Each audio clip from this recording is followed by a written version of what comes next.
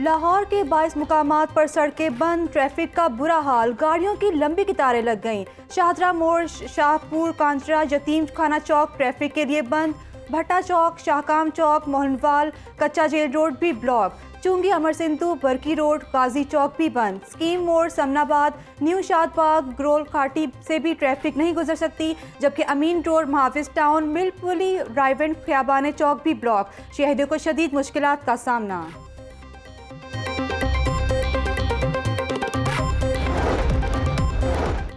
और सबक D G L D A Ahad Cheema तीन साल, दो माह बाद जेल से रिहा। अहद चीमा दस माह से सर्विसेज़ अस्पताल में जेर इलाज थे।